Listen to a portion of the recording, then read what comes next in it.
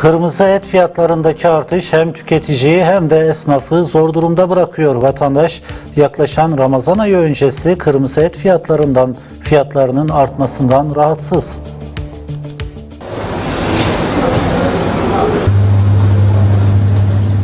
Artan et fiyatları vatandaşın cebini yakıyor. İnsanlar alışveriş yapamıyor yani. Alım gücü yok. Yarım kilo et alamıyorlar. Yarım kilo ciğer alamıyorlar. Yani bu bütün sektörde öyle yani. Tek bize değil yani. Uzun süredir sebze ve meyvede yaşanan fırsatçılık tartışmaları Ramazan ayı öncesi ette de yaşanıyor. Sektör temsilcileri fiyatların %20 arttığını belirterek yanlış tarım politikalarının da yaşanan bu durumda etkili olduğunu ileri sürüyor. Şu an girdi fiyatları çok pahalı. E, devletin de bir istikrarsızlığı var yani. Yani benim kanaatim 20 yıldan beri bu işin başına böyle kalifiye bir eleman gelmedi. İşte, işten anlayan gelmedi. Hep alen adamlar yani böyle işten anlamayan şey adamlar geldi. Yani bu normalde çok basit bir şey et ucuzlatmak bizim ülkemizde. Tarım ülkesiyiz. Yem var ama yem yok.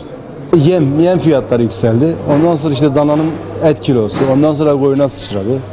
Tavuk da aynı yani bu ekseriyetten yem fiyatından yani.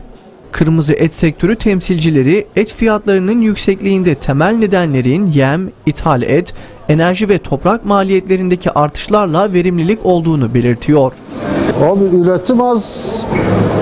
Yem pahalı, saman pahalı adam üretmeye girmiyor ki. Kestiriyor, mal yükseliyor yani. Yani şimdi sattığını yerine koyamıyor adam.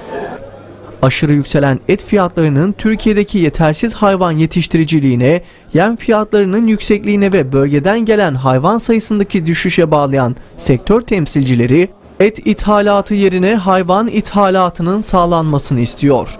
Ülkeye çok et girdiği için, kesim az olduğu için, ciğer sarfiyatı da çok olduğu için. Antep'in yarısı ciğer satıyoruz. Ciğer çok kıymetli Antep'te. Onun için yani yetkililerden yani ya- sağduyulu bekliyoruz yani. Yardımcı olmalarını istiyoruz. Yani esnafa, insanlarımıza. Yani hepsine yardımcı olmalarını talep ediyoruz yani. İthal başlı başına bir şey, vurgun bu ülkeye. Sadece devletin yapacağı yem ucuzlatacak.